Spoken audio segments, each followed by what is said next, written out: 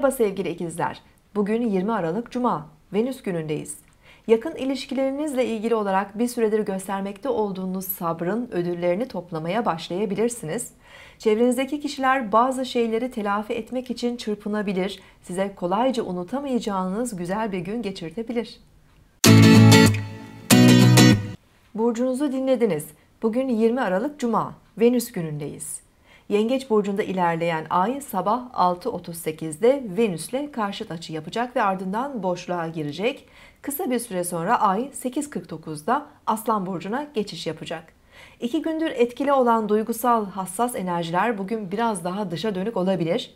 Ay Aslan burcunda canlı, yaratıcı, özgüvenli enerjiler verecek ve kendimizi e, gün içerisinde sosyal hayatta daha fazla göstermek isteyebiliriz. Öğle saatlerinde Ay Mars'la olumlu görünüm yaparak enerjimizi arttırabilir. İlişkiler ve sanatsal çalışmalarda özellikle başarılı olabiliriz.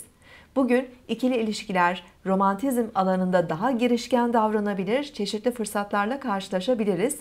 Akşam saatlerinde Ay-Uranüs arasındaki üçgen açı ateş enerjisini daha da arttıracağı için heves ve coşkumuzu da yükseltebilir. Bazı sürpriz kavramlarla da karşılaşabiliriz. Gün içerisinde özellikle Koç, Aslan, Yay burçları e, oldukça canlı e, ve sürprizli enerjiler alıyorlar. Yarın tekrar görüşmek üzere. Hoşçakalın.